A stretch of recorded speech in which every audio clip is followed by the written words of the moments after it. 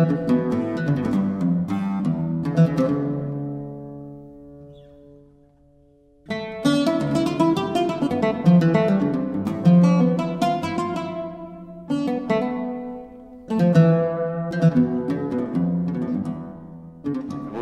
هي المهنة القديمة الجديدة مهنة الأجداد. أساسها آه، قبل ما توصلنا كانت رومانية ويونانية. على الزمان القديم ما كان عندهم لا كاميرات ولا شيء. فهني آه، كانوا يجسدوا آه، ملوكهم والآلهة اللي عندهم من خلال الحجر. كونه ما في بدائل. وظلت تتطور لحتى صرنا بالعصر الحديث. العصر الحديث نحن أخذناها من هون صرنا ننح... نشتغل فيها أشكال عديدة. فيها المناظر فيها الورد. فيها الحيوانات فيها جميع الأشكال. أي واحد بده أي لوحة باي شو ما كانت حجمها بننفذ له اياها من إحجار طبيعيه مار اسمها ماربل موزاييك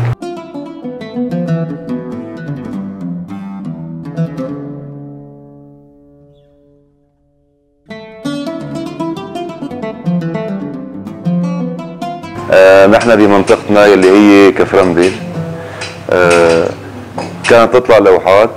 ونحن تعلمناها من آه من ناس آه أكبر منا بالسن كانوا يمارسوها تقليد على الروماني.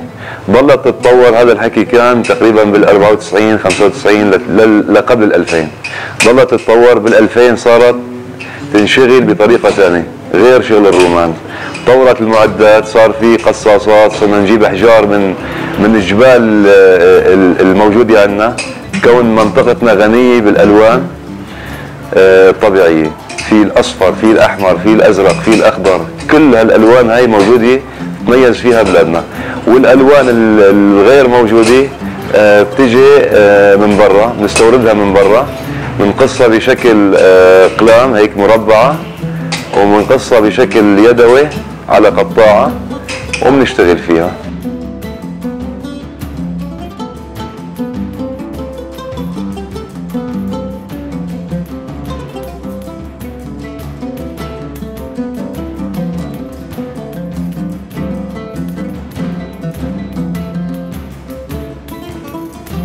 هاي المهنة آه، مشغلة آه، بمنطقة كفرنزيل حوالي أربع أو خمس بلدات. يعني تقريبا بيمارسها تقريبا شيء 1500 شخص.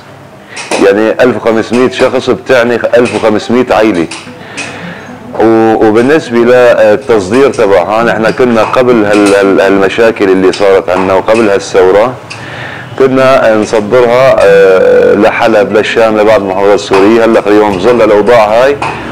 اقتصر التوزيع تبعها على لبنان وعلى الاردن بنصدر لبعض التجار هونيك وهن بدورهم بيصدروا لكل أرجاء العالم خصوصا أمريكا أوروبا وغيره وغيراتهم دول الخليج كمان. هلأ من أكثر من أكثر المصاعب اللي عم بتواجهنا هو الحالة النفسية مصلحتنا اليوم اسمها فن والفن بده هدوء وبده استقرار. اليوم بظل هالأوضاع هاي نحن الحالة النفسية رقم واحد كثير عم نعاني منها. العالم في كثير عالم آه، آه، تشتتت وتشردت. فويلهم النزوح ويلهم الخيم اللي باركين فيها. يعني صار هاي, أكبر مشكلة، المشاكل الثانية بتجي من خلال الطلبات، الزباين كانوا يوصوا على كمية أكبر من كميه بظل الاستقرار كانت أكبر من الكمية يلي هلأ حتجينا